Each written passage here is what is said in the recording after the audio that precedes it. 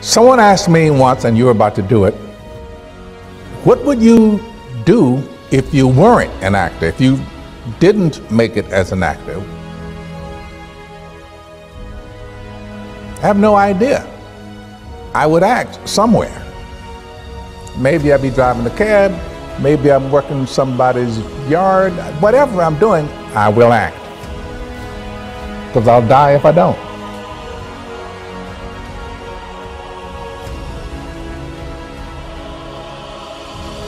You do it because you have to do it. If, if you spend 20 years waiting tables, at night, if you were a writer, you're writing. And it's the same thing with any discipline. Painters paint. I don't care what else they have to do to put food on the table or pay the rent, they're paint. And I think that's the same way all the way around.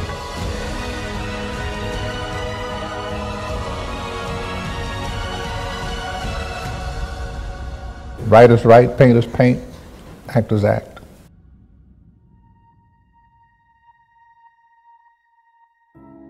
Matters not how strait the gate, how punishment charged the scroll.